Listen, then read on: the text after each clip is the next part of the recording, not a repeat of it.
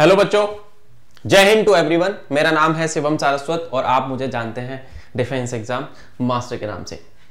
आज इस particular class में मैं आप लोगों से बात करूँगा जनवरी 2024 के करंट अफेयर्स के बारे में। और जैसा कि मैं यहाँ पे देख पा रहा हूँ, एक बार लेट मी चेक ये लाइव क्लास है यूट्यूब पे चल रही है लाइव आप लोगों के सामने। और हम आज इसमें जानेंगे वो सारी चीज़ें, जो कि जानना बहुत ज़्यादा ज़रूरी है। एक बार मैं फ़ोन से चेक कर लेता हूँ स्ट्रीम इज़ वर्किंग और नॉट बाकी सारे बच्चे यहाँ पे धीरे धीरे करके जुड़ जाएँगे। थोड़ा सा YouTube ने अपडेट कर दी हैं चीज़ें, किस तरीके से लाइव क्लास को देखा जाए। आप अपने चैनल में जाते हैं देन आपकी लाइव क्लास चालू हो जाती है। बच्चे यहाँ पे जुड़ चुके हैं।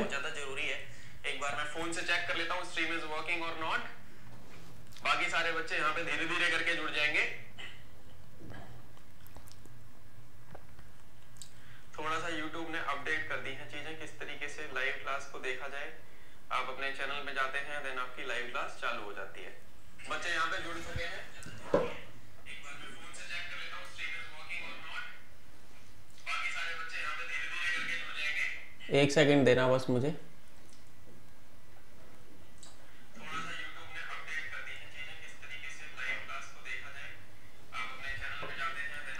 ओके जो भी बच्चे मुझे यहाँ पे देख रहे हैं, वो मुझे चैट में एक बार बता देंगे कि सर एवरीथिंग इज़ ओके जो बच्चे मुझे यहाँ पे देख रहे हैं, वो लाइव क्लास में, जो भी बच्चे मेरे से जुड़े हुए हैं, वो सारे बच्चे मुझे बता सकते हैं कि इज़ एवरीथिंग ओके क्या सारी चीज़ें सही से चल रही हैं?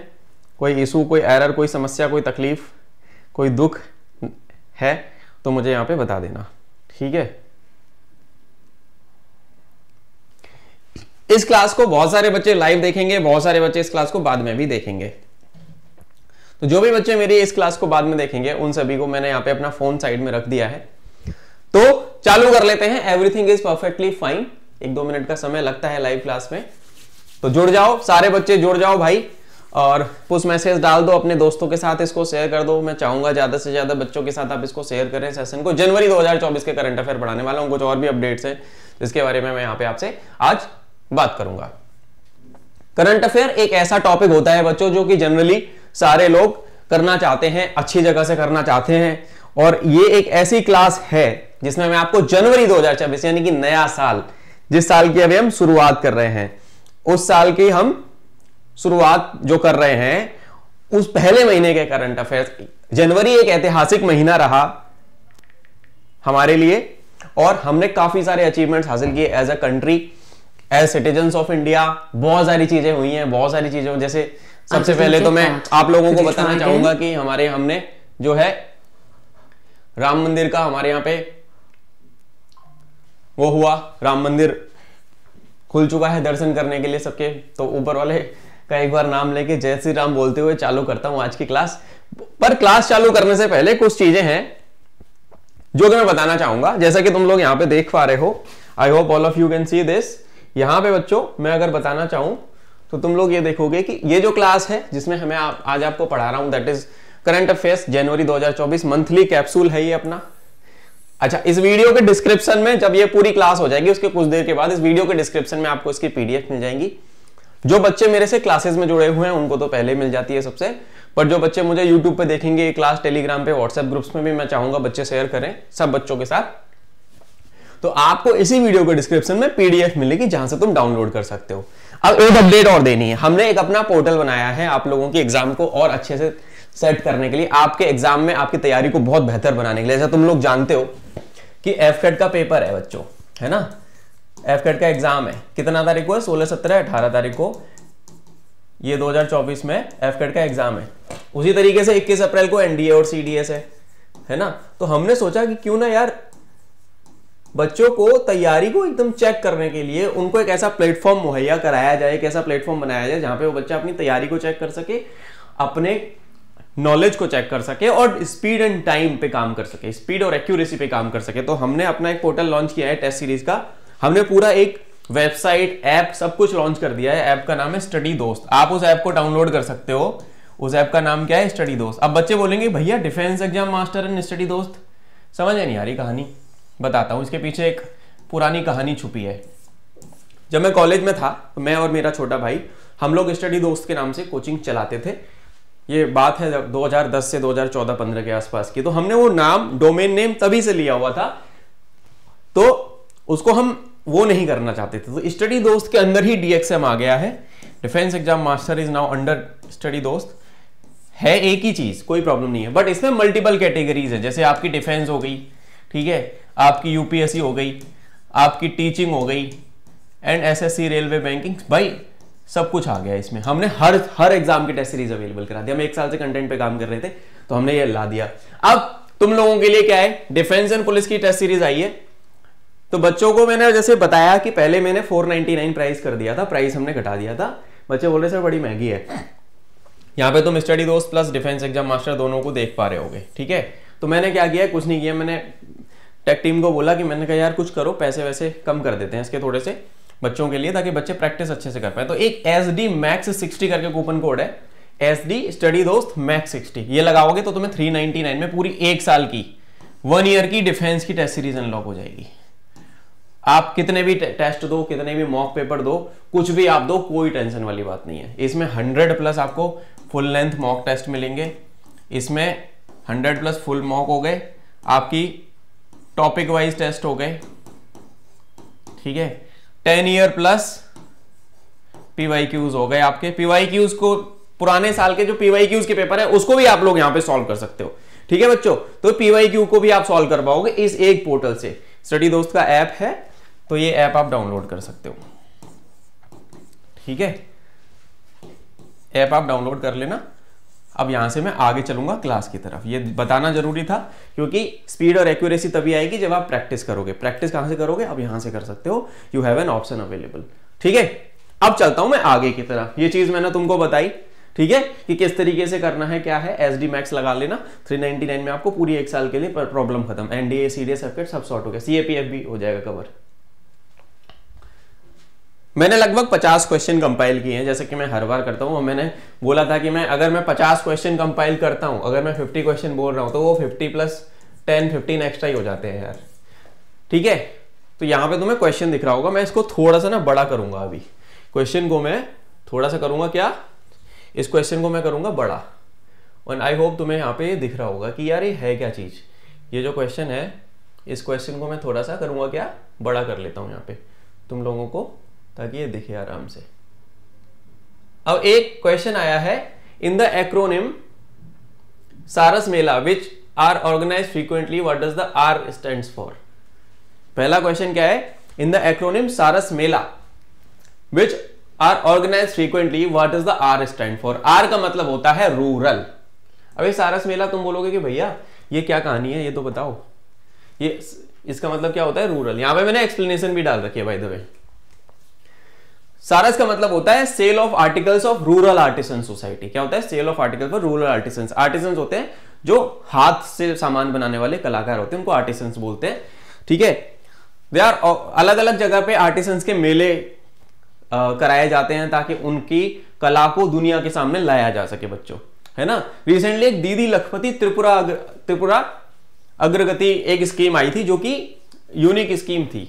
है ना? जिस जो थीम थी किसकी? सारस मेला 2023 जिसको लॉन्च किया था त्रिपुरा के सीएम डॉक्टर मनिक साहा ने। यहाँ पे क्या हुआ है? इकोनॉमी की उनको एम्पावर करने के लिए स्मॉल बिज़नेस ओनर जिनको एसएमईज बोलते हैं सेल्फ हेल्प ग्रुप्स हो गए, उनके स्टॉल्स लगाए गए ओवर पंद्रह दिन के टाइम पे अलग अलग तरीके के लोगों के आर्टिसंस के, ताकि उनको एक रोजी रोटी का और उनके बिज़नेस को भी ग्रो मिल सके। अगला आता है Lal Bahadur Shastri institute of technology for women LBS ITW ने, है ना, एक न्यूज़ में था वो, उन्होंने एक लॉन्च किया है क्या? नैनो सैटेलाइट, जिसका नाम है वी सेट वो किस सिटी में लॉन्च किया है? वी सेट इन्होंने।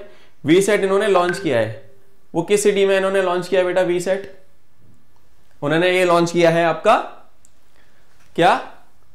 वी सेट जो इन्होंने लॉन्च किया है, वो तुम्हारा किस सिटी में लॉन्च किया है इन्होंने? ये लॉन्च किया है तिरुवनंतपुरम में। आंसर्स याद रखते चलना पीडीएफ में तुमको दे दूँगा नीचे।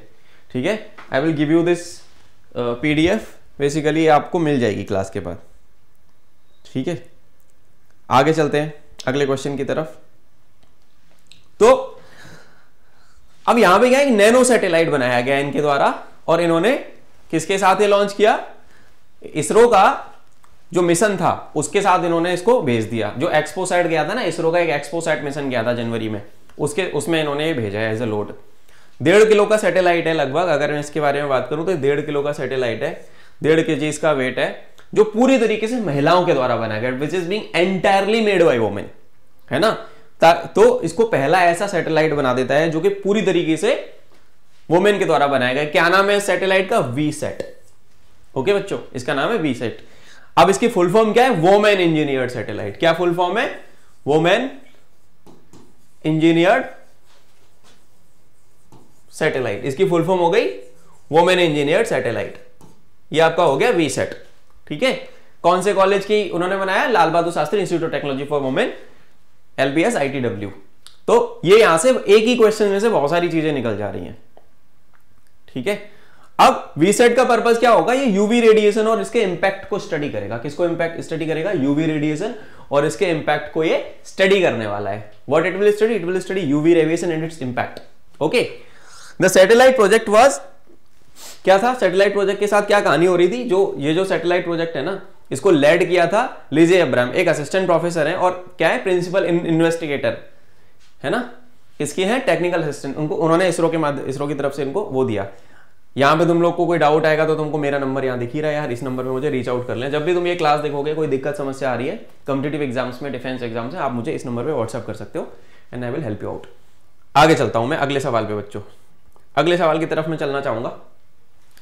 अब जैसे देखो मैंने अगला सवाल, अब मैंने ना ये पीपीटी फॉर्मेट में नहीं बनाया, मैंने ए फोर के लैंडस्केप मोड को यहाँ पे यूज़ किया है।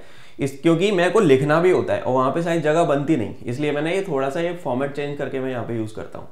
ओके अगला क्वेश्चन आता है which country in India neighbourhood has decided to impose a one year ban on Chinese research vessel in its exclusive economic zone भाई साहब चाइना की जो नाव वाव आती है ना रिसर्च वेसल जो आती है चाइना की, देखो तुमको पता है China China as a country जो जो खुरापाती तो है। उसमें तो कोई डाउट नहीं खुरापाती तो है। चाइना हर जगह कुछ ना कुछ कर ही रहा है।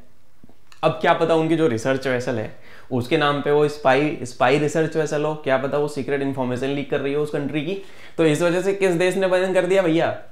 श्री श्रीलंका ने बोला कि, भैया, तुमसे, हमसे ना हो पाएगा, तुमको बैन कर रहे हैं हम। तो श्रीलंका ने बैन कर दिया उनको। है ना? उनका इस उनका क्या था? जो एक्सक्लूसिव इकोनॉमिक जोन था उन्होंने उसमें बंद कर दिया उसके वेसल को। क्योंकि इंडिया ने और यूएस ने कंसर्न उठाया था कि इसको आप देखो जरा इस पर काम करो क्या सिस्टम है ठीक है ना? तो वो लोग क्या कर रहे थे? साइंटिफिक रिसर्च कर रहे थे बैलिस्टिक मिसाइल ट्रैकिंग कर रहे थे है ना? मतलब इंडिया के चीज़ों को भी लेके दिक्कत थी इस वजह से उसको बैन करवाया गया है है ना? सो so, जो डिप्लोमेटिक टाइज होते हैं दो देशों के बीच वो ऐसे काम करते हैं कि आपको अगर सामने वाला देश कुछ बोल रहा है है ना? तो आपको सुनना पड़ेगा। डिप्लोमेटिक टाइज ऐसे काम नहीं करते कि आप वन वे हो गए। You you just cannot be in a one side जैसे हमारे यूएस से टाइज हैं। हम रसिया से वेपन्स खरीदते हैं। लगभग फिफ्टी परसेंट हमारे डिफेंस वेपन्स होते हैं। वो रसिया से आते हैं। By the way defence budget भी आज अनाउंस हुआ है। मेरी उस पर भी बहुत जल्दी वीडियो आ रही है कि क्या क्या चीज़ें हैं कहाँ कहाँ क्या होगा। आप लोग ज़रूर देखिएगा ठीक है?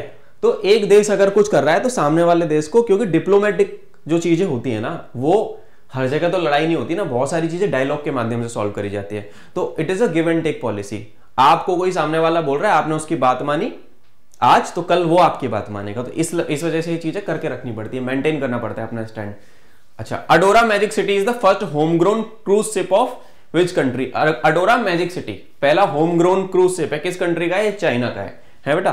किसका ये? चाइना का। आगे चलता हूँ अगले क्वेश्चन की तरफ़। क्वेश्चन नंबर पाँच बच्चा पार्टी अब how students can enrol in APAR automated permanent academic account registry system that was recently making news जो कि रिसेंटली क्या कर रहा था? अब एक अपार करके आया है। है ना? अपार करके क्या आया है? ऑटोमेटेड अपार का full form A P A R APAR का फुल फॉर्म क्या है बच्चों? Automated permanent academic account registry ये क्या करता है? ये आपको डिजी लॉकर के माध्यम से थ्रू डिजी लॉकर पोर्टल तुमने देखा होगा डिजी लॉकर का ऐप जब आप डाउनलोड करते हो ना डिजी लॉकर में आपने अपना आधार कार्ड, अपना गाड़ी का आरसी अपने ड्राइविंग लाइसेंस ये सब आपने डाल दिया। तो एक व्हाट्सएप पे भी अगर आप एक नंबर पे मैसेज करते हो पर्टिकुलरली तो वो आपको पूरे आपके डॉक्यूमेंट वहाँ पे शो कर देगा। तो आपको अभी फिजिकली वो जो कार्ड वाला होता है ना लाइसेंस और वो सब लेके जाने की ज़रूरत है मैं उसी तरीके से यूज़ करता हूँ। आप लोग भी वही यूज़ किया करो। डिजी लॉकर में डाल के रखो सारी चीज़ें any time you can access them तो स्टूडेंट जो है, अपार के माध्यम से एडमिशन ले सकते हैं। अब इसमें DigiLocker will be very very helpful यहाँ पे क्या हो रहा है? उनको नाम age date of birth gender और अपना फ़ोटो देना है। तो बस उससे काम हो जाएगा आगे का, बस। बात समझ में आई? अगला आता है which three items from the Arunachal Pradesh recently receive the G G I tag geographical identification tag उसको बोला जाता है। क्या बोलता है? जियोग्राफिकल आइडेंटिटी जीआई टैग बहुत ज़्यादा ज़रूरी है। है ना? कोई पर्टिकुलर चीज़ है वो उसी पे मिलती है जैसे मैं मथुरा से हूँ तो मथुरा का पेड़ा पेड़ा को जीआई टैग दे दिया। ठीक है? आगरा का ताजमहल, उसको जीआई टैग दे दिया। I am just giving an example है ना? तो यहाँ पे किसको दिया गया है? अरुणाचल के किस चीज़ को दिया गया है? थ्री आइटम्स जो हैं कैसे हैं? आदि केकिर, तिब्बतन कारपेट, आदि Kekir, Tibetan carpet and Wancho wooden craft ठीक है? इन चीज़, तीन चीज़ों को क्या दिया गया है बेटा? जीआई टैग दे दिया गया अरुणाचल के। क्वेश्चन आ सकता है एग्ज़ाम में? आप लोगों को ये याद रखना पड़ेगा, ठीक है? इस चीज़ को तुम लोग भाई याद रखना। भाई की तरफ़ से तो इतना ही कहना है कि अगर आप याद रखोगे तो फ़ायदा आपको ही होगा। अब देखते हैं। अब ये जीआई टैग जो है ना, आदि केकिर क्या है? आदि एक तरीके का, आदि केकिर एक तरीके का अदरक है, जिंजर है है ना? वांचो जो है, एक स्कल्पचर फिगर है जो वुडन आइटम से बनाया जाता है। तो वहाँ की कोई यूनिकनेस होती है, वहाँ की कोई यूनिक आइडेंटिटी होती है कोई प्रोडक्ट या कोई ऐसी चीज़ होती है, उसको जीआई टैगिंग दी जाती है। अब आता हूँ मैं अगले क्वेश्चन की तरफ़, जो है क्वेश्चन नंबर सात, कि which global organisation recently impose sanctions और Russia largest diamond mining firm Alrosa by adding it to black list European Union ने कर दिया ये कार्यक्रम। यूरोपियन यूनियन ने क्या किया? एक रशिया की सबसे बड़ी डायमंड माइनिंग फॉर्म है अलरोसा उसको ब्लैक लिस्ट में डाल दिया यूरोपियन यूनियन ने। अब तुमको पता है रशिया यूक्रेन वॉर चल रहा है।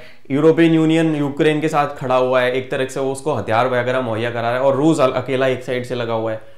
तो ये उस वजह से भी थोड़ा सा है और इसलिए यूरोपियन यूनियन ने लगभग इस पर बैन लगा दिया, ठीक है ना?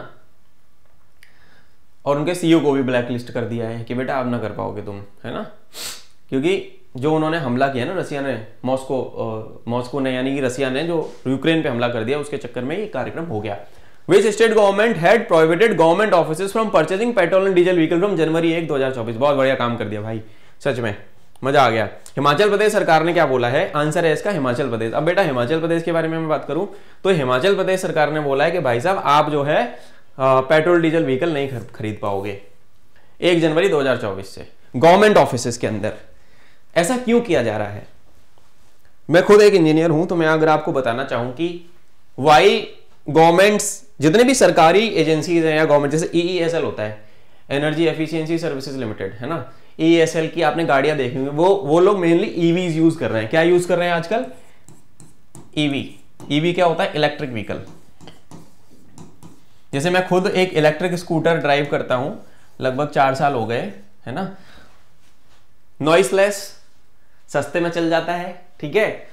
और इन्वायरमेंटल को भी इन्वायरमेंट को भी कोई प्रदूषण नहीं पहुंचाता। जैसे कि फॉसिल फ्यूल्स है जैसे पेट्रोल डीजल है इससे निकलता है क्या? धुआँ निकलता है स्मोक निकलता है। अब स्मोक में क्या होते हैं? जहरीली गैसें होती हैं। स्मोक में गैसेज होती हैं। वो खतरनाक है एनवायरमेंट के लिए। तो इस वजह से बैन लगा दिया गया है कि गवर्नमेंट एजेंसी जो होंगी वो ईवीज यूज़ करेंगी ताकि वो ईवी की अडॉप्शन आ जाए। अब, अब गवर्नमेंट का रूल है कि 2030 तक हमें पूरी तरीके से इलेक्ट्रिफिकेशन कर देना है फ्लीट का। तो इस तरीके से भी सरकार काम कर रही है। तो मैं रिकमेंड यहाँ पे इस क्लास के माध्यम से मैं आप लोगों को भी बोलूँगा कि अगर तुम्हारे पास पेट्रोल डीजल व्हीकल है तो कम से कम यूज़ करो, ताकि इन्वायरमेंट को सेफ़ रखा जा सके। और अगर आप कोई गाड़ी खरीदना चाहते हो स्कूटर वगैरह इलेक्ट्रिक की तरफ़ मूव करो। बहुत कम पैसे में, दस पैसे पर किलोमीटर में तो स्कूटी चल जाती है यार, एक रुपये किलोमीटर में गाड़ी चल जाती है। तो पर्सनल एक्सपीरियंस से बता रहा हूँ। तो मूव टुवर्ड्स ईवी अब आते हैं आगे हम। रिसेंटली एस जयशंकर जो हमारे कौन है? एक्सटर्नल अफेयर्स मिनिस्टर हैं। को chair the seventh meeting of Indo Nepal joint commission किस in which year India Nepal joint commission was set up कौन से साल में इंडियो ने, Indo Nepal joint commission set up हुआ था? ये बेटा सेटअप हुआ था उन्नीस में। It was being set up in 1987 ठीक है? कौन से साल में बेटा ये सेटअप हुआ था? 1987 में इट वॉज़ सेटअप ठीक है? ये कब सेटअप हुआ था आपका? उन्नीस में सेटअप हुआ था। अब ये मीटिंग में इन्होंने पार्ट किया। आपको पता है एस जयशंकर हमारे एक्सटर्नल अफेयर्स जो मिनिस्टर है ना जब वो बोलते हैं तो every one lessons and I really adore him जब उनके बात करने का उनका जो तरीका है, जो उनका स्टैंड लेने का तरीका है भारत के, भारत का स्टैंड जब वो लेते हैं, वो फैक्ट एंड फिगर्स के माध्यम से आपको समझा देंगे, है ना? पहले क्या होता था कि हमारा कहीं ना कहीं लीडरशिप में थोड़ा सा प्रॉब्लम होता था। हम उतने फर्म तरीके से अपनी बातें नहीं रख पाते थे। बट द करेंट गवर्नमेंट में अगर मैं कुछ कुछ लोगों की बात करूँ, जैसे हमारे एन एस साहब हैं जी Doval his an I P S officer his Shaurya Chakra award उनको गैलेंट्री अवार्ड मिला हुआ है। वो अंडर कवर रह चुके हैं पाकिस्तान में। Mister S Jayashree, S Jaishankar, ये जो है ही is an I F S officer है ना? तो पढ़े लिखे लोग हैं फैक्ट एंड फिगर्स है डेटा होता है backed up by total thorough research तो वो जब बोलते हैं ना तो दुनिया सुनती है। और ऐसे एक्चुअली में हमें ऐसे मिनिस्टर्स चाहिए थे इसके अंदर, जो स्टैंड लेते हैं फर्मली क्योंकि यहाँ पे ना, देश को रिप्रेजेंट कर रहे हो ना आप तो आप बिना डेटा के नहीं चल सकते। आपको बोलना पड़ेगा तो आप फर्मली बोलोगे। दैट इज़ द थिंग तो उन्नीस सौ सतासी में बना था, क्या बना था? इंडो नेपाल बेटा, इंडो नेपाल ज्वाइंट कमीशन बना था 1987 में, तब से चीज़ें होती आ रही हैं, है ना? अब यहाँ पे हम पार्टनरशिप्स के बारे में बात करते हैं, है ना? यहाँ पे नेपाल के जो प्रेसिडेंट है, रामचंद्र पौडेल, उनके साथ पीएम उनके यहाँ है पुष्प कमल दहल, है ना? प्रचंड। तो वहाँ पे बातचीत हुई आपस में, लोगों, दोनों के बीच में। अब other which company decide to introduce Copilot key in PC keyboard Copilot key in बेटा, क्या? Copilot key in PC keyboard which company has introduced so called Copilot P in PC keyboard अब इसका आंसर है Microsoft Microsoft की Windows हम लोग सब use करते हैं, आपको पता है माइक्रोसॉफ्ट की। हम, जैसे मैं ये पीसी जिस स्क्रीन पे आप लोग मुझे देख पा रहे हो ना जिस स्क्रीन पे तुम लोग मुझे देख रहे हो। ये भी एक कोर आई फाइव प्रोसेसर वाला कंप्यूटर ही है। दिस इज़ अ इसमें एक कंप्यूटर होता है that has a core I five processor inside it और उसमें विंडोज़ कौन सी है? विंडोज़ 11 आई एम यूजिंग तो विंडो के बारे में तो सब बच्चे जानते हैं तो ये माइक्रोसॉफ्ट ने वो किया है को की। है ना? नए पीसीज में क्या होगा, जो विंडो ऑपरेटिंग सिस्टम वाले उनमें को पायलट किया जाएगी। ये माइक्रोसॉफ्ट का ए आई चैटबोट है, जो क्या करेगा इंटीग्रेट कर देगा चैट जीपीटी मेकर आपको पता होगा चैट जीपीटी के बारे में सब सुनते हैं। चैट जीपीटी जो है चैट जीपीटी के बारे में यहाँ पे एआई के बारे में बात कर रहा हूँ। चैट जीपीटी का जो पेरेंट कंपनी है दैट इज़ ओपन एआई कौन है? ओपन एआई उसके सीईओ कौन है? सैम ऑल्टमैन सैम ऑल्टमैन को पीछे पहले हटा दिया गया था, बाद में वापस लाया लाया गया। क्योंकि फिर दिक्कत हो गई थी, बोर्ड ने उनको हटा दिया था, फिर वापस लाया गया सैम ऑल्टमैन को। तो ये चीज़ आपको पता in addition to the Copilot key to the PC जो इस, जो कीबोर्ड होगा, ये माइक्रोसॉफ्ट की प्लेयर होगा generative AI technology generative AI generative artificial intelligence इसको बोलते क्या बोलते हैं? जनरेटिव आर्टिफिशियल इंटेलिजेंस हम लोग करंट 2024 में अगर मैं बात करूँ, जैसे एआई का यूज़ मैं डेली लाइफ में रोज करता हूँ। इन कंटेंट क्रिएशन इन आपका यूट्यूब के एल्गोरिदम को चेक करने में या बहुत सारी जगह पे मैं एआई का यूज़ करता हूँ। आप लोग भी करा करो स्मार्टनेस के साथ यूज़ करोगे तो बहुत काम की चीज़ है। तो जनरेटिव एआई इतनी अच्छी टेक्नोलॉजी है कि अगर आप इसको अच्छे तरीके से यूज़ करोगे तो बहुत काम की है। और नुकसान भी होता है बट है ना? तो ये जो इनिशिएटिव है ना माइक्रोसॉफ्ट का, ये पीसी कीबोर्ड के अंदर एक बहुत रिवॉल्यूशन लेके आया है। इस तरीके से इसको याद रखना what is the full form of FMR as mentioned in the news regarding India border with Myanmar FMR का होता है फ्री मूवमेंट रिजाइम क्या होता है बेटा? फ्री मूवमेंट रिजाइम इंडिया का जो म्यांमार के साथ बॉर्डर है इंडिया म्यांमार बॉर्डर जो है, उसको बोलते हैं फ्री मूवमेंट रिजाइम ये लगभग, अभी अभी क्या होता था? ट्राइबल कम्युनिटीज जो होती ना, दोनों तरफ़ जो रहती थी 16 किलोमीटर आसपास तक बिना वीज़ा के ट्रेवल कर सकती थी. अब, इसके कारण से क्या हो रहा था? इलीगल इमिग्रेशन हो जाता था. वहाँ से जनता यहाँ आ रही है, यहाँ की जनता वहाँ तो नहीं जाती, पर वहाँ की जनता यहाँ आ सकती है ना, भारत के अंदर. इस वजह से फ्री मूवमेंट रिजाइम लाया गया है. है ना? And mandated visas for Myanmarese Myanmar का कोई बंदा आएगा तो आपको वीज़ा चाहिए होगा, सर, आप ऐसे नहीं घुस के आ सकते। अब आते हैं। अगले क्वेश्चन की तरफ़ Bharat is the purpose of Bharat park to be set up in United Arab Emirates announce by the government recently अब ये भारत पाक क्या है बेटा? यहाँ पे अगर मैं बात करूँ, अगला क्वेश्चन जो तुमको दिख रहा है what is the purpose of Bharat park to be set up what is the purpose of Bharat park to be set up in United Arab Emirates as announced by the government recently क्या होता है ये? Bharat park जो है trade Indian goods के trade को बढ़ाने के लिए यूज़ करा जा रहा है। To increase the trade of Indian goods Bharat का जो सामान है, जो यूनाइटेड अरब एमिरेट्स इसको बोलते हैं, दुबई वगैरह जहाँ पे है है ना? यहाँ पे क्या होगा? शोरूम बनाए जाएँगे वेयर हाउसेस बनाए जाएँगे, ताकि इंडियन जो प्रोडक्ट्स हैं, उनको अलग कंट्रीज़ में वहाँ पे बेचा जा सके। ओके तो ये इंडियन गुड्स का इंटरनेशनल मार्केट में अगर आपको पहुंचाना है तो सिंपल सी बात है, आपको वेयर हाउस बनाना पड़ेगा उस देश में, आपको वहाँ पे दुकानें खोलनी पड़ेंगी, तभी तो बेच पाओगे, अपना माल कैसे बेचोगे? जब तक दिखेगा नहीं, तब तक बिकेगा नहीं। तो ये एक अच्छा मूव है। तो अगला आता है Petr Fiala Petr Fiala the guest of honour of tenth vibrant Gujarat global investor summit is the PM of pet which country ये चेक रिपब्लिक के बेटा पीएम थे। ये आए थे वाइब्रेंट गुजरात समिट के अंदर, ठीक है ना? वो गेस्ट ऑफ़ ऑनर थे tenth vibrant Gujarat global investor summit के। ठीक है ना? गांधीनगर में वहाँ पे वो, उन्होंने पार्टिसिपेट किया था। ग्लोबल लीडर्स आए थे, बहुत सारे इन्वेस्टर्स आए थे, ताकि इकोनॉमिक डेवलपमेंट को लेके भारत में और एफडीआई आए अलग अलग सेक्टर्स में पैसा आए, है ना? इन्वेस्टर जब आता है ना अपने साथ किसी देश का तो भारत में एफडीआई आती है।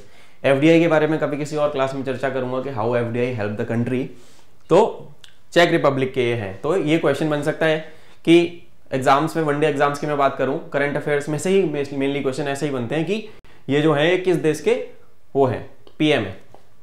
ठीक है तो पेट्रोफिलावाज चेक रिपब्लिक पीएम अब आता है अगला क्वेश्चन तुम्हारा। अगला क्वेश्चन के बारे में which organisation were involved in the development of human humanoid robot Aloha Aloha जो है, जो गूगल का DeepMind and Stanford University की खोज है।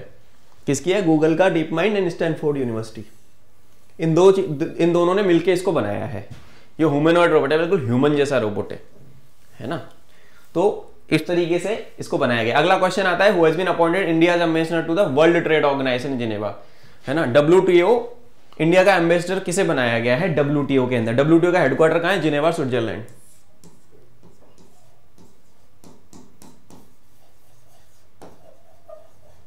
याद रखना वर्ल्ड ऑर्गेनाइजेशन और उनके हेडक्वार्टर्स मेनली पूछ लिए जाते हैं। एग्ज़ाम में आपको पता होना चाहिए। तो किसको बनाया गया बेटा यहाँ पे? सेंथिल पांडियन सी इनको बनाया गया। सेंथिल पांडियन सी को अपॉइंट किया गया अपॉइंटमेंट कमेटी ऑफ़ कैबिनेट होती है जो ये सारी चीज़ें करती है। अब ये सेंथिल पांडियन सी आप जो है ना he is an IAS officer है ना? है ना? आईएएस ऑफिसर है यूपी के 2002 बैच के। आईएएस ऑफिसर ऑफ़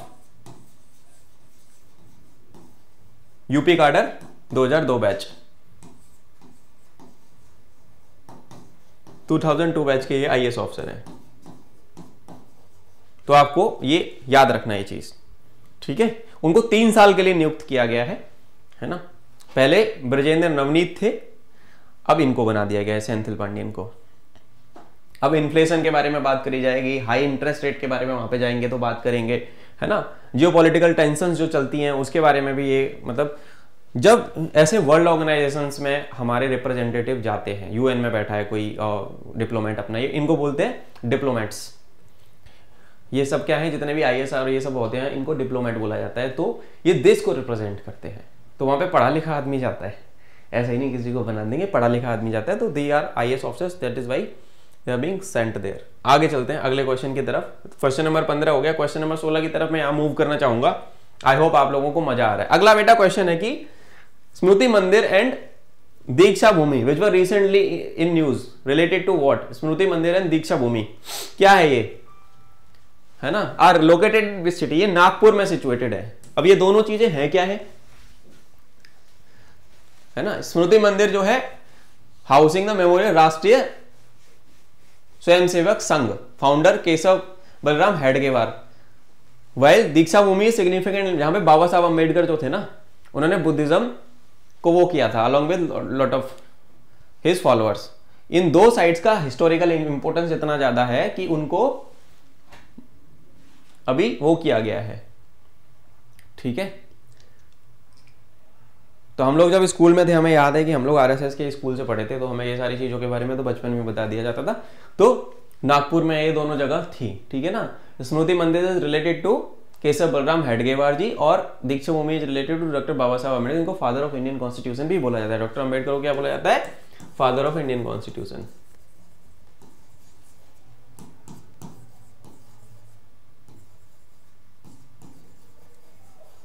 तो ये आपको पता होना चाहिए। ठीक है बच्चों? आई होप यहाँ तक तुम्हें समझ में आया। आगे चलता हूँ मैं। Which elite unit of Indian navy was involve in the successful rescue of 21 crew members including 15 Indian from Liberian flag vessel MV Lila north flag ये न्यूज़ इतनी ज़्यादा हाईलाइटेड थी, जो इंटरनेट पे हर जगह चल रही थी। एंड एक सिप था एमवी लीला नॉर्थ फ्लैग ये भाई साहब इसको कर लिया था पायरेट्स ने क्या कर लिया था, इसको उन लोगों ने वो कैप्चर कर लिया था। तो यहाँ पे पार्टिसिपेट करने के लिए कौन आया यहाँ पे इनको बचाने के लिए? पता है कौन आया? मैं तुम लोगों को अगर बताना चाहूँ तो यहाँ पे इनको बचाने के लिए इंडियन नेवी के मार्कोस गए थे मरीन कमांडोज इनको बोला जाता है। ठीक है? आई होप तुम लोग लिखते भी जा रहे हो, कोई बात नहीं, इसकी पीपीटी में तुम लोगों को दे दूँगा। आंसर सबके हैं। वीडियो को रिविजिट करके वीडियो को अगर ये मिटा हुआ, जो मैंने मिटाया है ना, अगर ये चीज़ तुम्हें नहीं दिख रही तो इस वीडियो को रिप्ले करके देख लेना, सब दिख जाएगा, पता लग जाएगा। क्योंकि पचास क्वेश्चन मैंने डाले प्लस प्लस पंद्रह भी हो जाएँगे, इसमें एक्स्ट्रा भी बता दूँगा मैं बहुत सारे। ठीक है? तो इंडियन नेवी की स्पेशल फोर्सेस कौन सी है? यूनिट मार्कोस मरीन कमांडो जिसको बोला जाता है। मार्कोस किसकी है? नेवी की है। मार्कोस इज़ फॉर नेवी ठीक है, यहाँ पे मैं एडिशनल क्वेश्चन बना देता हूँ। गरुड़ इज़ फॉर गरुड़ किसके हैं? इंडियन एयरफोर्स की गरुड़ है। And then para para is for army, ये स्पेशल फोर्सेज है तीन हमारी। अच्छा काउंटर टेररिज्म फोर्स कौन सी है? What is the counter terrorism force अब एनएसजी के बारे में भी बोला जाता है कि एनएसजी भी है सर भाई साहब एनएसजी जो है ना NSG is counter terrorism force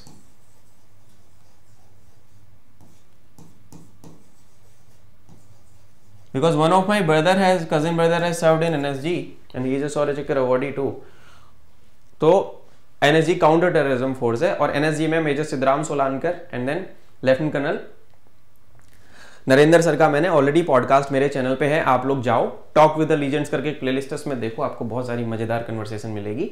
देखना ज़रूर, ठीक है? मैंने पॉडकास्ट लिया है सर के साथ। तो I have taken two podcast of NSG officers go watch them out ठीक है? तो मार्कोस और ये, मैंने आपको ये एक्स्ट क्वेश्चन बताया कुछ। आगे चलते हैं। अब इसमें क्या हुआ था, मैं तुम्हें बता देता हूँ कि इक्कीस लोगों का क्रू मेंबर था। इसमें पंद्रह तो भारतीय नागरिक थे भाई। सिप का नाम था एमविलीना नॉर्फ्लॉक अब इसमें जा गए हमारे MARCOS commando. North Arabian sea में कार्यक्रम इनका चल रहा था तो इन्होंने भाई, तुमको पता है, मार्कोस होते हैं बहुत ज़्यादा खतरनाक। मेरी टाइम सिक्योरिटी थ्रेट्स होते हैं, है ना? Ward marine patrol aircraft helicopter paid paid M Q nine B drones है ना? इन सब का यूज़ किया गया यहाँ पे। है ना? Sanitization operation carried out by MARCOS यहाँ पे मार्कोस ने सैनिटाइजेशन ऑपरेशन यहाँ पे कंडक्ट किया और हाईजेकर्स को पकड़ के निपटा दिया। तो मार्कोस का काम ही है भाई, उनको घड़ियाल बोला जाता है, उनको ऐसे नहीं बोला जाता घड़ियाल। ठीक है? तो very soon someone from MARCOS will also join me on my podcast just stay tune with me channel like share subscribe नहीं किया तो कर लेना, घंटे की बटन दबा लेना बेल आइकन जिसको बोलते हैं, आ जाएगा तो तुम्हें अपडेट्स आ जाएगी। Which one the following describe the thirty Doradus B that was recently in news है ना? ये क्या है? ए सुपरनेवा रेमनेंट था। Doradus B thirty Doradus B is what बेटा? इसके बारे में अगर मैं बात करूँ तुमसे, ये एक सुपरनोवा रेमनेंट है।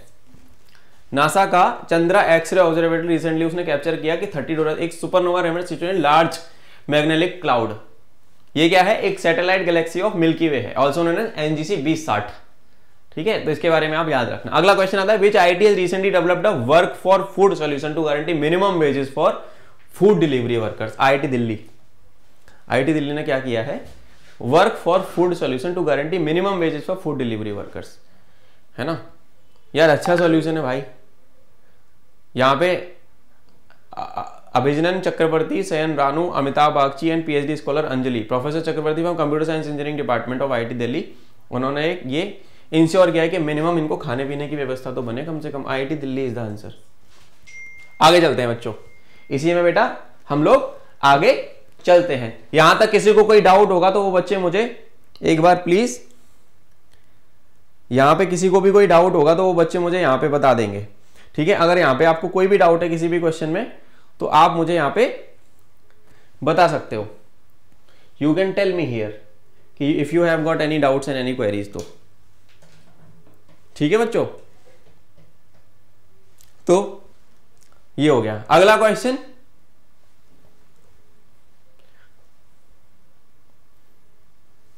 अब आगे अगर मैं चलना चाहूँ यहाँ पे, इसको थोड़ा सा जूम कर दूँगा यहाँ पे। क्वेश्चन नंबर भी आ रहा है, Kelucharan Mohapatra whose ninety birth anniversary जो होती है न्यूज़ में थी। Help to revive and popularize which dance form ये किस चीज़ से रिलेटेड अब आते हैं बहुत सारे लोग किसी गेम से एसोसिएटेड है, किसी डांस फॉर्म से, किसी कल्चरल चीज़ से एसोसिएटेड है, ये थे हमारे उड़ीसा के उड़ीसा का जो फ़ेमस डांस फॉर्म है that is Odissi Odissi is from Odisha ठीक है? ओडिशा की कैपिटल क्या है? भुवनेश्वर. है ना तो? के मोहापात्रा जो थे 1926 में पैदा हुए थे, उन्होंने रिवाइव किया था एंड पॉपुलराइज किया था ओडिसी डांस को 20वीं शताब्दी में. है ना? और ट्रेडिशनल उन्होंने गो, गोटीपुआ और महानी डांस फॉर्म्स को भी उन्होंने इसकी वजह से ओडिसी रिस्ट्रक्चर हो पाया। अब आता है थर्टी डोराडस भी, जो कि न्यूज़ में था रिसेंटली एक सुपरनोवा रेमनेंट एक क्वेश्चन रिपीट हो गया। कोई दिक्कत नहीं है। आगे चलते हैं। हम लोग लगभग हाफ़ की तरफ़ आ चुके हैं। पचास क्वेश्चन हैं तो तुम लोग ध्यान से समझ के करना। Operation the term operation shadow play जो कि रिसेंटली क्या था बच्चों? न्यूज़ में था। Is related to which country operation shadow play है ना? है क्या चीज़? इसके बारे में थोड़ा सा बात करूँगा। क्या है ये? चाइना से रिलेटेड है। यहाँ पे क्या है? इन्वेस्टिगेशन किया था ऑस्ट्रेलिया की स्ट्रेटेजिक पॉलिसी इंस्टीट्यूट ने। उसने अनकवर किया कि extensive YouTube propaganda network dubbed operation shadow play आया है। यहाँ पे कम से कम 30 चैनल है जो प्रो चाइनीज़ चीज़ों को प्रोपेगेट कर रहे हैं और यूएस का क्रिटिसिज्म कर रहे हैं। ठीक है? अब यहाँ पे इन चैनल के जो टोटल सब्सक्राइबर थे, सात लाख तीस हज़ार थे और चार हज़ार पाँच सौ टोटल वीडियोस यहाँ पे डाली गई। जिन्होंने 120 मिलियन व्यूज़ इकट्ठे किए, है ना? ये नेटवर्क ने कोऑर्डिनेट करके क्या किया? यूट्यूब के को एक्सप्लॉइट किया ताकि विजिबिलिटी आए, ज़्यादा रीच आए सब्सक्राइबर आए व्यूज़ आए और अपनी ये बातों को वीडियोस को प्रोपेगेट कर चाहे, जो चाइना के फेवर में हो और यूएस को क्रिटिसाइज कर रही हो, है ना? अब इन्होंने मैसेज स्प्रेड किया। While unknown analyst Mandarin speaking commercial entity following some degree of Chinese state direction यानी कि हो सकता है चाइनीज़ स्पाई एजेंसी कर रही है चाइना का इसमें हाथ ऑब्वियसली देखो हाथ तो है, ठीक है? तो ये ऑपरेशन सैडो प्ले जो था, वो चाइना से रिलेटेड था। ये किसने, कौन लाया था इसको? Australian strategic policy institute YouTube operation shadow play ये इससे रिलेटेड अगला आता है which of the following describe the sky dew sky dew जो कि न्यूज़ में था रिसेंटली ये क्या चीज़ थी? मिसाइल ये इट वॉज़ अ मिसाइल या इट वॉज़ अ तुम्हारा high altitude observation balloon fighter aircraft या फिर फ्यूल एफिशिएंट ड्रोन तो जो ये है ना स्काई ड्यू था, ये हाई एल्टीट्यूड ऑब्जर्वेशन बलून था बेटा। क्या था ये? हाई एल्टीट्यूड ऑब्जर्वेशन बलून था। It was a high altitude observation balloon I hope तुम्हें यहाँ पे इसका आंसर दिख रहा है। अगले क्वेश्चन की तरफ़ चलते हैं। ठीक है? अब क्या हो रहा है तुम्हें पता है कि हिजबुल्ला के साथ टेंशन चल रही है। लेबनीज बॉर्डर पे इसराइल ने रिसेंटली स्काईड्यू को, ये इसराइल ने इसको डिप्लॉय किया, है ना? तो ये सर्विलांस ब्लिम्प है, जो ज्वाइंटली यूएस की कंपनी है टीकॉम है ना? जो एयरक्राफ्ट की जैसा है, इसमें डायरेक्शन सिस्टम्स हैं पावरफुल रडार हैं सेंसर्स हैं, ताकि मल्टीपल एयरबोर्न थ्रेड्स को वो कर सके 250 किलोमीटर दूर से। और ये हाई एल्टीट्यूड पे होता है, बिना रिफ्यूलिंग रिफ्यूलिंग की ज़रूरत नहीं भाई इसको, है ना? तो इसराइल का जो एरियल थ्रेड डिटेक्शन एबिलिटी आप लोगों ने इसराइल का जो आयरन डोम सिस्टम है ना, उसके बारे में सुना होगा। मैंने उसमें बात भी की अपनी डिफेंस की क्लास में। Iron dome is of Israel का air defence system iron dome के बारे में मैंने बात की थी ना? ये इसराइल से रिलेटेड है। और हमारे पास जो एयर डिफेंस सिस्टम है इंडिया में अभी हमने जो रिसेंटली हमने स्क्वाडन जो एम्प्लॉय किया, वो है एस फोर हंड्रेड ठीक है, जिसको कि वेस्टर्न साइड में, इसको कि वेस्ट में और नॉर्थ ईस्ट में लगाया गया है। नॉर्थ ईस्ट में चाइना की तरफ़ लगाया गया है, वेस्ट साइड में लगाया गया है, ठीक है ना? तो एस फोर हंड्रेड है हमारे पास। तो ये आपको पता होना चाहिए एस फोर है एयर डिफेंस सिस्टम ठीक है? आगे आता है which which is the primary source of new jet fuel recently developed by firefly green fuels human sewage human sewage से निकालेंगे ये लोग। ठीक है ना? ये जेट फ्यूल है जो कि फायर ग्रीन फ्यूल इन्होंने डेवलप किया है।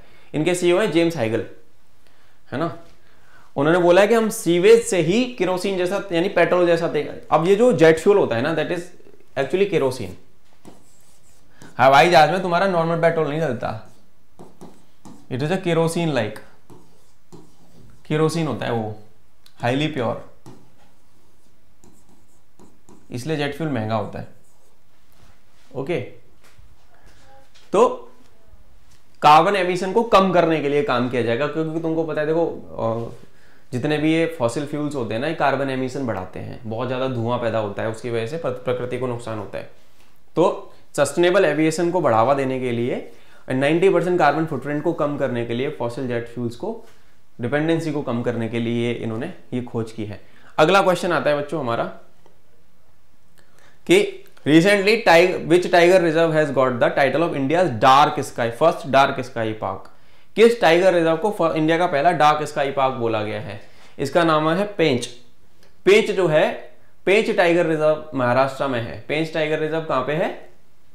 इसका आंसर क्या है? Pench tiger reserve. ये कहाँ पे है बेटा तुम्हारा? ये महाराष्ट्र में है। Pench is in Maharashtra. In Maharashtra, India first international dark sky park, है ना? इसको सर्टिफिकेट मिल गया है। अब ये क्या करता है?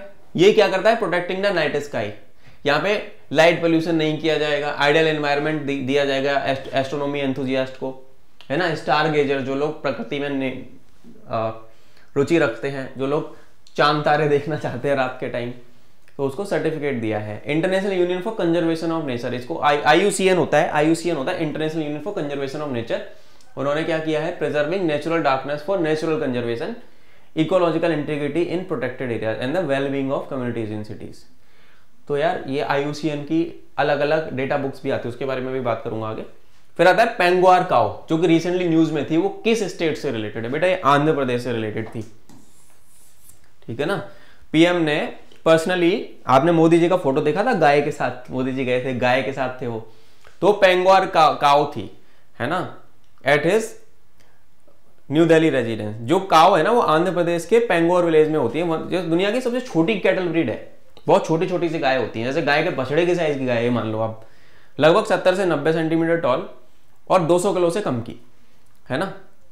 Known for their resilience to drought they adapt to low quality feed and produce milk with eight percent fat आठ परसेंट इनके दूध में आपको फैट की मात्रा मिलती है है ना? और जो रिच इन न्यूट्रिएंट इसलिए मम्मी बोलती है ना, तुम्हारी सबकी की बेटा दूध पिया करो। तो इसलिए क्योंकि गाय के दूध में काफ़ी सारे न्यूट्रिएंट्स पाए जाते हैं। इको फ्रेंडली काउस जो हैं, वो सिग्निफिकेंट कल्चरल प्रैक्टिसेस में यूज़ होती हैं और आंध्र प्रदेश में इनकी पूजा भी की जाती है इंक्लूडिंग तिरुपति तिरुमाला टेंपल में। तो यहाँ भगवान जी का नाम लेके आगे चलते हैं। अगला क्वेश्चन आ रहा है हमारा, बेटा, इसी में। अगला क्वेश्चन तुम्हारा आ रहा है इसमें कि पोंगल फेस्टिवल सेलिब्रेट किया जाता है mark the beginning of which Tamil month. किस तमिल मंथ को बिगिनिंग को वो करने के लिए पोंगल फेस्टिवल हम सेलिब्रेट करते हैं। तो यार इसका आंसर है थाई। ठीक है ना? पोंगल जो है वो बेसिकली रिलेटेड है थाई से। तमिल कैलेंडर जो है उसमें तमिल मंथ ऑफ़ थाई जो आता है ना, उसके बारे में पोंगल सेलिब्रेट आपने किया है। मिड जनवरी में आता है पोंगल, और बहुत सारी चीज़ें इसमें की जाती हैं। देखो, पोंगल होता है, बैसाखी होती है आपकी, है ना? और ये सब चीज़ें होती हैं। अलग अलग जगह पे अलग अलग नाम है फेस्टिवल का, बस पर्पज एक ही होता है। नई फ़सल के उसके लिए ब्यूटीफुल हार्वेस्ट हो अलग अलग रिचुअल्स किए जाते हैं तो इसलिए ज़रूरी है। अब आता है फास्टैग जो कि न्यूज़ में था। फास्टैग किस टेक्निक पे काम करता है? फास्टैग रेडियो फ्रीक्वेंसी आइडेंटिफिकेशन पे काम करता है। फास्टैग काम करता है रेडियो फ्रीक्वेंसी आइडेंटिफिकेशन फास्टैग तुमने देखा होगा, जब आप गाड़ी लेते हो, गाड़ी चलाते हो, अगर आपकी गाड़ी की विंडशील्ड पे आपको फास्टैग लगा के रखना पड़ता है। है ना?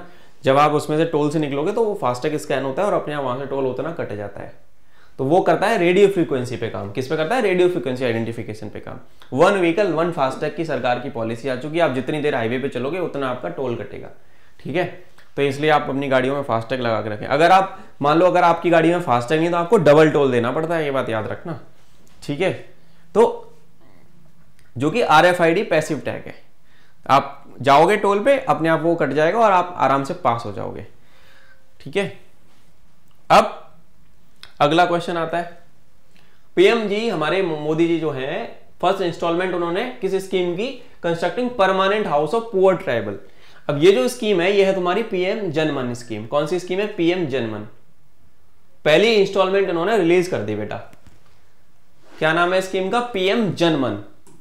ये पुअर ट्राइबल लोगों के लिए है, जो कि हमारे मोदी जी ने वो किया प्रधानमंत्री जनजातीय आदिवासी न्याय महाअभियान, पीएम जनमन। प्रधानमंत्री जनजातीय आदिवासी न्याय महाअभियान, पीएम जनमन इसका नाम है, जो कि पुअर ट्राइबल्स के वेलफेयर के लिए सरकार ने लॉन्च किया। कब हुई थी? 15 नवंबर 2023 को। चौबीस हज़ार करोड़ का बजट इसमें पैसा इसमें अलोकेट करा गया है, ताकि ट्राइबल्स को वेलिफिट किया जा सके, है ना?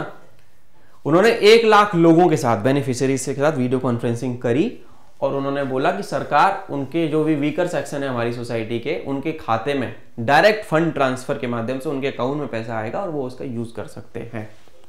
और पीएम आवास योजना ग्रामीण के अंतर्गत पीएम की जो आवास योजना है मुख्य प्रधानमंत्री आवास योजना ग्रामीण के अंतर्गत, वो अपना घर बनवा लें। गवर्नमेंट काम कर रही है काफ़ी सारी चीज़ों पे और गवर्नमेंट स्कीम्स एंड पॉलिसीज़ के बारे में आपको पता होना चाहिए। आप डेली अखबार पढ़ो न्यूज़ सुनो है ना? मेरी जो करंट अफेयर की जो बाइट्स आती है, मेरी जो वीडियोस आती है, आप उन सबको देखो। मैं सारी न्यूज़ कवर करता हूँ। मैं वीकली करंट अफेयर लाता हूँ मंथली करंट अफेयर लाता हूँ क्वार्टरली ईयरली सब लाता हूँ। तुमको करंट अफेयर की एक पूरी डेडिकेटेड प्लेलिस्ट हमारे डिफेंस एग्ज़ाम मास्टर के चैनल पे मिल जाएगी, जहाँ पे आपको सारी चीज़ें कवर होंगी। और वीडियो के डिस्क्रिप्शन में ही मैं पीडीएफ देता हूँ, ताकि बच्चा इधर उधर भटके ना। और वो एग्ज़ाम में आपको क्वेश्चन डिट्टो दिखेंगे। तो आप इसको ज़रूर शेयर करना और पढ़ना ज़रूरी है सारी जो चीज़ें हैं ना, इनका रिविजन ज़रूर करना है बच्चों। अगला आता है व्हाट इज़ पैरामाइरोथीसियम इंडिकम, जो कि न्यूज़ में था रिसेंटली ये एक फंगस है बेटा, ये क्या है? Phytopathogenic fungus it is a fungus B है इसका आंसर है ना? केरला में पाया जाता है। ओके अब आता है विच कंट्री है recently sign an agreement with US to purchase Tomahawk मज़ा आएगा, अब इसके बारे में थोड़ी सी जानकारी देता हूँ कि क्या है। किस कंट्री ने एग्रीमेंट साइन किया है यूएस के साथ? टोमाहॉक मिसाइल खरीदने का। तुमको दिख रहा है Tomahawk Tomahawk is a cruise missile 400 missile खरीदेगा जापान। जापान कितनी मिसाइल खरीदेगा? 400 किस, किससे? यूएस से ओके, टोमाहॉक जो मिसाइल है ना, ये लॉन्ग रेंज क्रूज में it is a long range cruise missile. क्या है ये? Long range cruise missile. India के पास इसका क्या ऑल्टरनेटिव है? इंडिया के बारे में बात करूँ तो हमारे पास ब्रह्मोस है। जो गया सुपरसोनिक क्रूज। Supersonic cruise. और हमारे पास एक सबसोनिक क्रूज भी है भाई दबे जिसका नाम है Nirbhay. That is subsonic cruise question आया हुआ है दोनों पे पेपर में तो याद रखना भैया। अब ओके तो 400 मिसाइलों की खरीद, खरीदी हो रही है साहब, जापान की तरफ़ से, है ना? ये शिप से लॉन्च कर दो सबमरीन से लॉन्च कर दो हेलीकॉप्टर से लॉन्च कर दो, जहाँ से तुम्हारा मन करे लॉन्च कर दो। ठीक है? लो एल्टीट्यूड पे फ्लाई करती है है ना? और इसमें टर्कोम रडार होता है प्रिसाइज गाइडेंस होता है। इनिशियली ये सॉलिड प्रोपेलेंट पे चलती है, बाद में टर्बोफैन इंजन पे आ जाती है। और एक हाई रिस्क सिनेरियोज में जापान के वो, जापान की डिफेंस कैपेबिलिटीज में ऑब्वियसली बढ़ोतरी होगी इसके माध्यम से। इसलिए जापान ने 400 मिसाइल्स का ऑर्डर दिया और खरीद ली मिसाइल अब IUCN status of great Indian bustard जो कि न्यूज़ में था international union of conservation of nature जिसके बारे में अभी थोड़ी देर पहले बताया था मैंने, वो किस कैटेगरी में डाला है? उसको डाला है क्रिटिकली एंडेंजर्ड जो विलुप्त होने के कगार पे है। है ना? जो कि विलुप्त होने, लगभग इनकी संख्या बची है सौ से डेढ़ सौ के बीच में, जो कि थार के डेजर्ट में है। मतलब खत्म हो रहा है भाई, इसको बचाना पड़ेगा। Distinguished by black crown brownish body और मास्ट विंग होते हैं इसके। क्रिटिकली एंडेजर्ड कैटेगरी यानी कि रेड लिस्ट में डाल दिया गया इसको। है ना? ड्राई ग्रास लैंड और स्क्रब्स पे ये लोग ज़िंदा रहते हैं। दिक्कत है यार, ये तो मतलब जानवरों का प्रोटेक्शन करना चाहिए। तुम्हारे आसपास जितने भी जानवर है, ध्यान रखा करो भाई। Is the focus of recently signed MOU of between India and Cuba? Indian Cuba में बेटा डिजिटल पब्लिक इंफ्रास्ट्रक्चर को बढ़ाने के लिए एक MOU साइन हुआ था रिसेंटली किस पे काम हुआ है? डिजिटल पब्लिक इंफ्रास्ट्रक्चर पे काम होगा। है ना? यहाँ पे क्या होगा? डिजिटल सॉल्यूशंस प्रोवाइड किए जाएँगे। है ना? पब्लिक इंफ्रास्ट्रक्चर म्यूचुअल बेनिफिट होगा जैसे दोनों देशों को।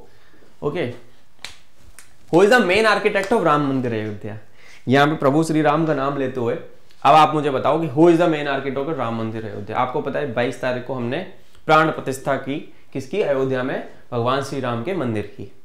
ओके एक हिस्टोरिकल माइलस्टोन था भगवान जी को 500 सालों से टेंट में थे भगवान जी और वो अपने मंदिर में आ गए, है ना? अयोध्या में राम मंदिर बन गया। तो उसका आर्किटेक्ट कौन थे? उसके जो आर्किटेक्ट थे वो थे चंद्रकांत सोमपुरा जी। चंद्रकांत सोमपुरा जी है ना जो? वो उसके आर्किटेक्ट थे। अब जो भगवान श्री राम की जो प्रतिमा मंदिर के अंदर लगी हुई है बच्चों, वो किसने लिखी? वो भगवान जी की जो मूर्ति है, जो आपको दिख रही होगी, हर हर दिन आपको दिख जाती होगी। मुझे तो जिस दिन से बाईस तारीख से जब से प्राण प्रतिष्ठा हुई है, मुझे हर दिन कहीं ना कहीं, अगर मैं मोबाइल में इंस्टाग्राम चलाऊँगा या यूट्यूब को तो मुझे कहीं ना कहीं दिखते हैं भगवान जी। तो उसको बनाया है अरुण योगीजा जो स्कल्प्टर है ना मूर्ति के भगवान जी के। इन्होंने वो मूर्ति बनाई है।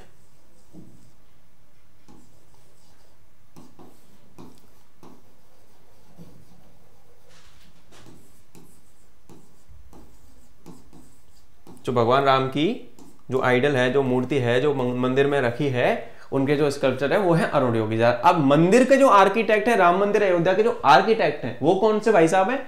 वो है आपके चंद्रकांत सोमपुरा जी। ठीक है ना? ये अहमदाबाद से बिलोंग करते हैं और एक पुश्तैनी काम है इनका। कई पीढ़ियाँ इनके परिवार की, यही काम कर रही है कि मंदिर का आर्किटेक्चर ये लोग बना रहे हैं। और मैं तुम्हें बता देता हूँ, सोमनाथ मंदिर, अक्षरधाम टेंपल दिल्ली, इनका भी इन्होंने ही बनाया है। है ना? और बिरला टेंपल ये सब इन्हीं लोगों ने बनाए हैं। तो इंडिया की कल्चरल डाइवर्सिटी को ये लोग बचा के रख रहे हैं, बहुत अच्छा लगता है ऐसे लोगों को जान के। What is Andrographis theniensis recently जो कि न्यूज़ में था। बेटा ये एक पेड़ है, जो तमिलनाडु के थेरी थेरी डिस्ट्रिक्ट में वेस्टर्न घाट्स में पाया जाता है। इट इज़ अ प्लांट यार ठीक है? ये प्लांट है आपका, ठीक है? तो इसके बारे में आपको पता होना चाहिए। फिर आता डी के बासु का जजमेंट आया था रिसेंटली जो कि न्यूज़ में थे, वो किस चीज़ से रिलेटेड है? पुलिस कस्टडी में जो लोग होते हैं, उनके राइट्स को और उनकी डिग्निटी को प्रोटेक्शन देने के लिए ये था उसमें। ये उसके बारे में बात करी जा रही थी, है ना? अगले क्वेश्चन पे चलते हैं। IUCN status of Agulhas long billed lark. Recently जो कि न्यूज़ में था, वो आयुसियन उसको किस कैटेगरी में डाला? आयुसियन उसको डाला नियरली थ्रेटन यानी कि भाई साहब, इस पर दिक्कत आने वाली है। आयुसियन ने उसको डाला है दिक्कत वाली कैटेगरी में कि इसको बचा लो यार, दिक्कत आ जाएगी नहीं तो फिर। ठीक है? नियरली थ्रेटेंड वाली कैटेगरी में उसको international union for conservation of nature ने उसको डाला है बच्चों। इसको आप याद रखेंगे। ठीक है? एक बर्ड है, जो कि साउथ अफ्रीका में पाई जाती है। ठीक है? अब अब आते हैं हम अगली चीज़ की तरफ़। अगली चीज़ जो है, जानना ज़रूरी है जो आपके लिए। Fit India champion podcast series which was recently news launch by which ministry ministry of youth youth affairs and sports इसको लॉन्च किया है ministry of youth affairs and sports. Shri Anurag Thakur, जो कि हमारे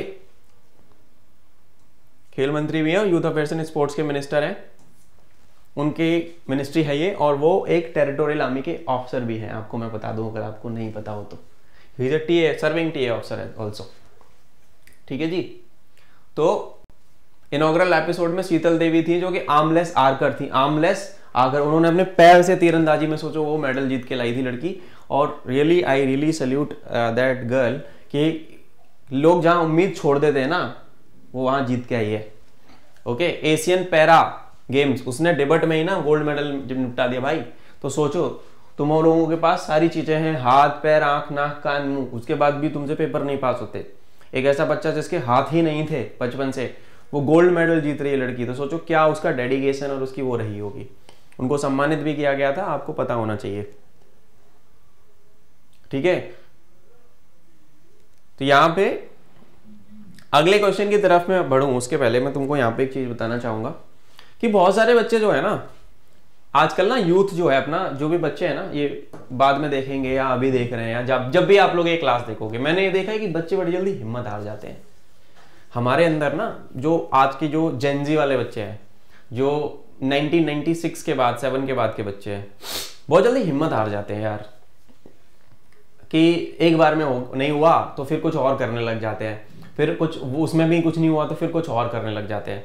तो यहाँ पे मैं उन बच्चों को ये बोलना चाहूँगा कि यार, देखो, तुम्हारे हाथ में जो है ना, वो एक ही चीज़ है। वो एक चीज़ तुम्हारे हाथ में जो है, वो तुम्हारी मेहनत। अगर तुम मेहनत करोगे तो तुम लाइफ में ना कुछ ना कुछ तो कर ही लोगे। अच्छा कर लोगे। ठीक है? पर अगर तुम एक दो बार में कामयाब अगर नहीं हो रहे हो और उसके बाद तुम गिव अप कर देते हो या छोड़ देते हो जो कि कॉमन एक आदत हो गई है यूथ की, कि यार एक बार में नहीं हो रहा, चलो छोड़ो यार, कुछ और करते हैं। दो बार में नहीं छोड़ो यार। अगर आप लगे रहोगे ना उसी काम में, आप, आपका कोई टारगेट है जीवन में, कोई उद्देश्य बनाया हो, आप उस पर लगे रहो सर। लगे रहो उसमें। क्या है? तकलीफ़ होगी ना थोड़ी सी, पढ़ना पड़ेगा। थोड़ा सा जल्दी नींद छोड़नी पड़ेगी, थोड़ा सा खाना कम करना पड़ेगा, थोड़ा सा दौड़ना पड़ेगा, थोड़ा सा मेहनत मारनी पड़ेगी, थोड़ी सी हर चीज़ में कटौती करनी पड़ेगी, सोशल मीडिया कंजम्पशन कम करना पड़ेगा, कोई बात नहीं। पर जो उसका रिवॉर्ड होगा ना, जो उसका आउटपुट होगा, वो आपके फेवर में होगा, वो आपके लिए होगा असली चीज़। ठीक है? तो गिव अप करने की जो टेंडेंसी है ना, वो निकालो परसिस्टेंट बनो। मेरे को बहुत सारे बच्चे बोलते हैं कि, सर, ये दिक्कत है, वो दिक्कत है। है ना? तो मैंने कहा, यार, देखो, एक बार में तो मेरा भी नहीं हो रहा था। लगे रहोगे तो ज़रूर होगा। अगर बीच में छोड़ दोगे तो तुम्हारे पास कोई कहानी नहीं होगी। मेरे पास अगर आज अपनी कहानी है बताने की तो वो इसलिए है कि मैं लगा रहा और कामयाब हुआ। ठीक है? अगर भीड़ में ही शामिल होना है, जो भीड़ तो सारी है, सब चले जा रहे हैं धुएँ में एकदम स्ट्रेट लाइन में, एक जो गिना चुना पाथ है।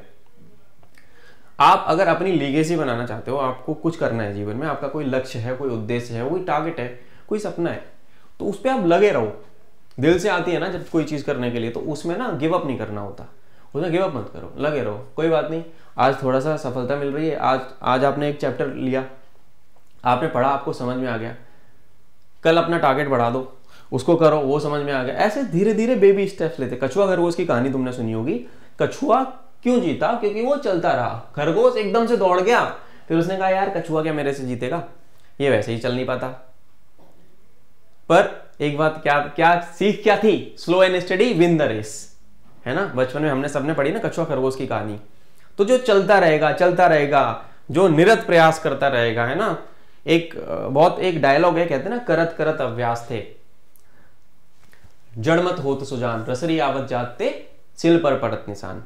तो जब तुम कुएँ से, जब तुम पानी खींचते हो ना, गाँव में कभी जाना, कुआ देखना, उसमें सिल होती है, पटिए की सिल होती है, उसमें से पुली जा रही होती है, रस्सी उस पत्थर पे घिसती है। तो over a period of time जब वो खींचते खींचते घिस जाती है ना वो चीज़ तो पत्थर को भी रस्सी काट देती है। तो ऐसा हाल तो नहीं है तुम्हारा। कि तुम इतने जड़ तो नहीं हो पत्थर की तरह कि तुम्हें समझ में ना आए। आपके पास सारे टीचर्स हैं, कितने अच्छे अच्छे टीचर्स हैं। मैं हूँ, अपना चैनल है।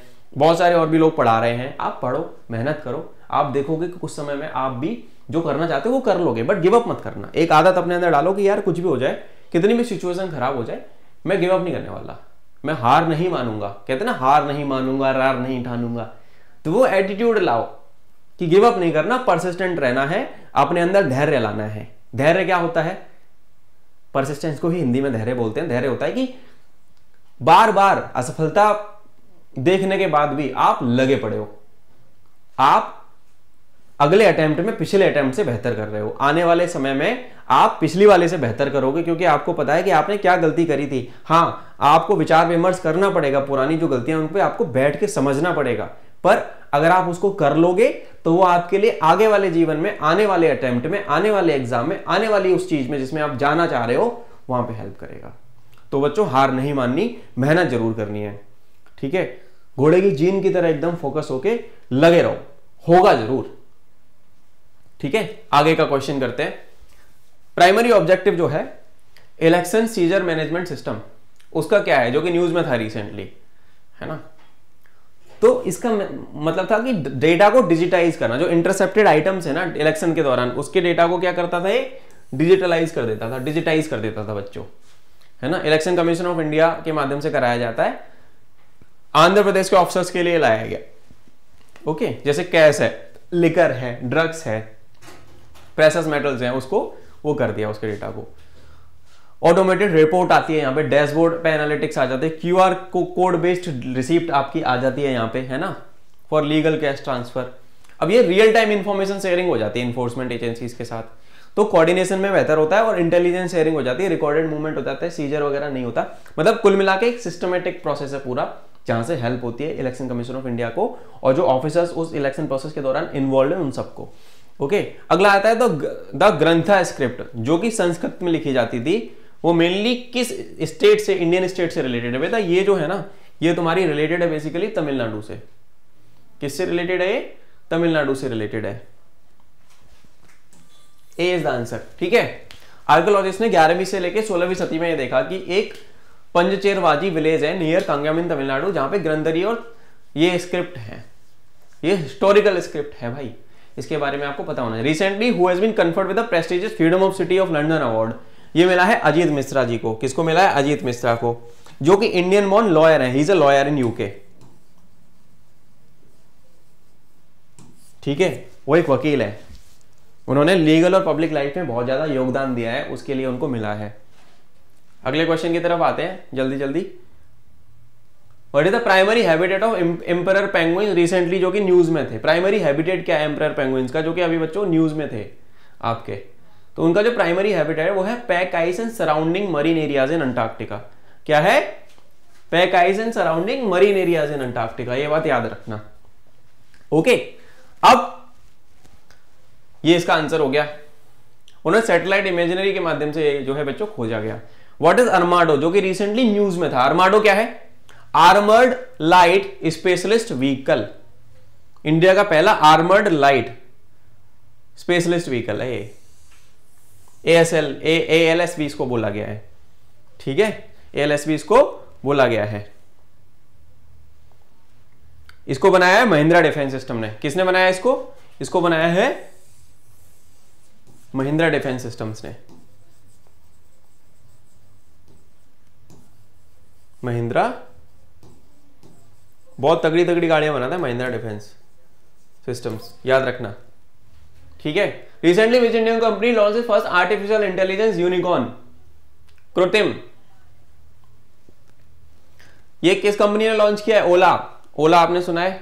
बाविस बाविस अग्रवाल की कंपनी ओला कैप्स आपने सुना होगा। ओला के स्कूटर भी आते हैं आजकल। ठीक है? तो ये एक ओपन ग्रुप का ए आई ओला ओला का है ये। ठीक है? इंडिया फ़र्स्ट आर्टिफिशियल यूनिकॉर्न कृत्रिम और ये जो कृत्रिम है ना यार, ये बहुत तेज़ी से बढ़ता हुआ स्टार्टअप है सच में। है ना? ये इसने 50 मिलियन डॉलर, जो इंडिया का फ़र्स्ट ए आई यूनिकॉर्न बनाया। यूनिकॉर्न होता है ऐसी कंपनी अब यहाँ पे इंडिया जो कि पहला ए आई का ऐसी कंपनी इसका valuation more than one billion US dollar है। मैंने कुछ यूनिकॉर्न कंपनीज़ में काम किया है। I work in few edtech unicorn companies personally तो मैं आपको बताता हूँ, मैंने लगभग, मैंने तीन यूनिकॉर्न कंपनीज़ में काम किया है। ऐसी कंपनी और वो फॉर्चुनेटली मैं लकी था। Was touchwood I was so lucky कि वो मेरे सामने ही तीनों कंपनीज़ यूनिकॉर्न बनी। ठीक है? नाम नहीं लूँगा, मेरे लिंक्डइन पे जाओगे, पता लग जाएगा। तो जिसका valuation US dollar one billion से ऊपर हो जाता है। वन बिलियन एटलीस्ट या उससे ज़्यादा हो जाता है। तो वो कंपनी क्या कहलाती है? यूनिकॉर्न ठीक है? वन बिलियन यूएस डॉलर का इसका वैल्यूएशन पहुँच गया या उससे ऊपर पहुँच गया, वो कंपनी यूनिकॉर्न बन जाती है। तो Bhavesh Aggarwal is the CEO and founder of Ola apps तो उन्होंने प्रीवियसली एक unicorn is privately held startup, जिसकी वैल्यू मैंने यहाँ पे बताई, एक बिलियन डॉलर है है ना? रेयरिटी और यूनिकनॉस में। पेंडेमिक की वजह से क्या हुआ? डिजिटल ग्रोथ जो थी ना, वो इंडिया की बढ़ गई, है ना? अब तुम्हें पता है कि डिजिटल पेमेंट इकोसिस्टम जो है बढ़ता चला जा रहा है है ना? तो सिंपल सी बात है यार, देखो, मैंने तुम्हें बताया था कि एआई का यूज़ जो करेगा, वो आगे जाए तो एआई का यूज़ करो। और कभी तुमको कोई हेल्प लगे कि how A I can solve your life उस पर वीडियो बना दूँगा कि स्टूडेंट्स अपनी लाइफ में एआई का यूज़ कहाँ कहाँ कर सकते हैं? How students can use AI video आने वाली है, बहुत जल्दी देखना। ठीक है? अब आता है हर्मिट क्रैप्स रिसेंटली जो न्यूज़ में थे, वो कॉमनली किस, कहाँ पे पाया जाता है? किस हैबिटेट में पाया जाता है? ये बेटा, इसका आंसर है सैंडी और मडी बॉटम मरीन वाटर इसमें पाया जाता है सैंडी और मडी बॉटम मरीन वाटर में पाया जाता है। ठीक है? ये एक क्या है? क्रैब है। क्रैब यानी केकड़ा। ओके समझ गए? लगभग छह इंच तक ये बढ़ जाता है और इसकी जो जी, दस साल तक की इसकी लाइफ होती है। अगला क्वेश्चन आता है तोरखम बॉर्डर जो कि रिसेंटली न्यूज़ में था बच्चों है ना? ये किन दे, दो देशों के बीच में बाउंड्री है? तोरखम बॉर्डर जो रिसेंटली न्यूज़ में था पाकिस्तान अफ़गानिस्तान की बेटा बाउंड्री है बच्चा बाटी। किसकी बाउंड्री है पाकिस्तान और अफ़गानिस्तान की क्या है ये? बाउंड्री है। पाकिस्तान अफ़गानिस्तान की ये बाउंड्री है। Trade between Pakistan Afghanistan recently चालू हो गया है वहाँ पे। दस दिन वहाँ पे बंद दस दिन के लिए बॉर्डर बंद कर दिया गया था ठीक है? It is a boundary between Pakistan Afghanistan. तो इसको आप लोग याद रखेंगे। जो यहाँ पे खाइबर पास करके हिस्टोरिक खाइबर पास है, जो दोनों कंपनी की इकोनॉमी के लिए ज़रूरी है। 2021 में यहाँ पे तालिबान की वजह से दिक्कत आ गई थी। अब आता है लाफिंग गर्ल एक माइग्रेटरी वर्ड है जो नॉर्थ अमेरिका से आती है। Has been sighted for the first time in which Indian state ये एक माइग्रेटरी वर्ड जो नॉर्थ अमेरिका से आई है, किस दे, राष्ट्र में देखी गई? केरला में देखा गया इसको। इसको कहाँ देखा गया? केरला के अंदर। केरला के चितकारी एश्वरी में केसरगोड डिस्ट्रिक्ट जो है ना, वहाँ का, वहाँ पे। इसको देखा गया बच्चों। जब ये जब ये बोलती है ना चिड़िया तो इसकी ऐसी लगती है कि हंस रही है। इसलिए ये फ़ेमस है थोड़ी सी। अब आता है which was the biomass based compressed biogas plant inaugurated in UP UP में कहा बना है ये? बदायूं के अंदर बना यूपी में बदायूं के अंदर आपका ये बायोमास गैस बेस्ड क्या बना है? प्लांट बना है। एक सेकेंड बदाऊं के अंदर बना है बच्चों। ठीक है? यूपी में।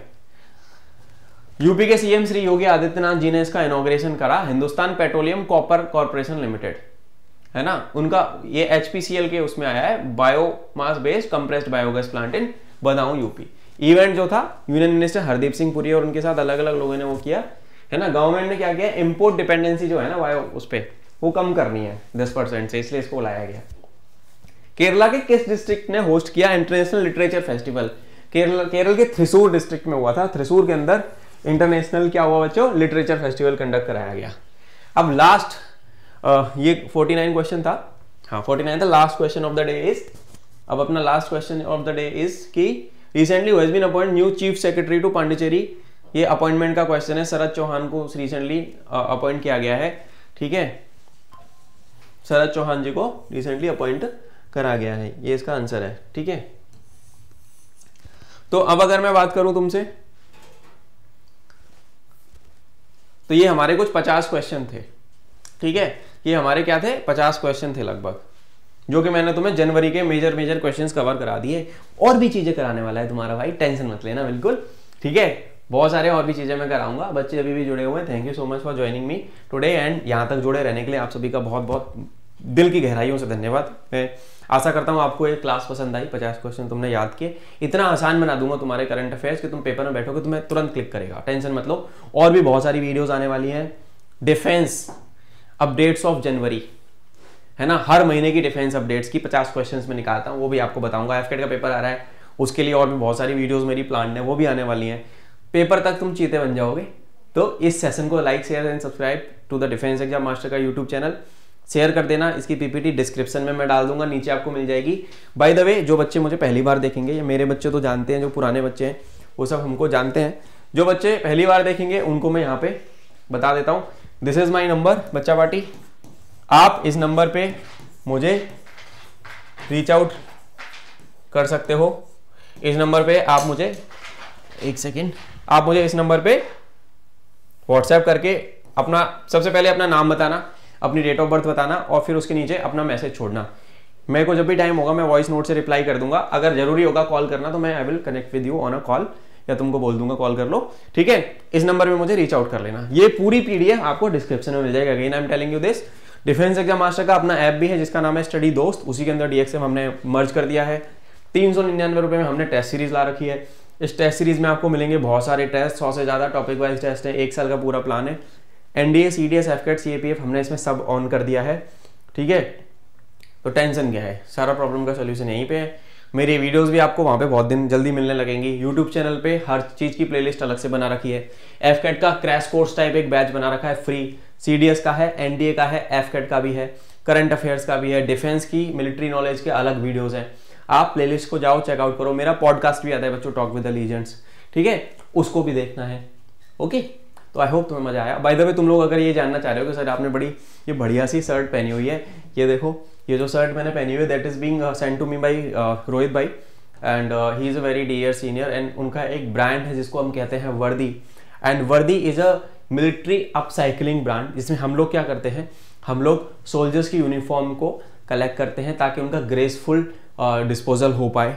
और वर्दी फिर उनको क्या करता है? उनको वर्दी कन्वर्ट करता है। ऐसी क्लोथिंग में जो जो मैंने शर्ट पहनी हुई ऐसी क्लोथिंग में जैकेट्स बनाते हैं स्लिंग बैग्स बनाते हैं लैपटॉप बैग्स बनाते हैं, है ना? एंड बाय द वे एक चीज़ दिखाता हूँ कैप्स भी बनाते हैं, ठीक है? कुछ ऐसी कैप्स बनाते हैं हम लोग, उसके माध्यम से ऐसी, ये देखो कितनी बढ़िया सी कैप है। अभी लोगो चेंज हो चुका है। ये पुराने सीज़न वाली कैप है this is the old season cap ये हम बनाते हैं। तो इसको भी तुम लोग चेकआउट करना, मैं उनका लिंक आपको डिस्क्रिप्शन में दे दूँगा। और बहुत अमेजिंग सा कलेक्शन है। अगर तुम चाहते हो कि तुम proudly you want to wear the uniform वो फीलिंग लेना चाहते हो। ये जो, मैंने जो पहने हुए, ये किसी पुराने, उनको ग्रेसफुल एक हम डिस्पोजल देने के लिए हम लोगों ने ब्रांड क्रिएट किया है, जिसमें आप वो एक फीलिंग ले सकते हो नेशनल उससे एसोसिएट होने की यूनिफॉर्म से एसोसिएट होने की।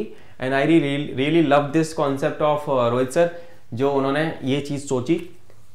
एंड हम army navy air force and सब डिफेंस पर्सनल्स को वापस मैं सबको थैंक यू बोलना चाहूँगा। Thank you for your service and आप लोग जाओगे जब आर्म फोर्सेज में तो तुम अगली पीढ़ी हो यार।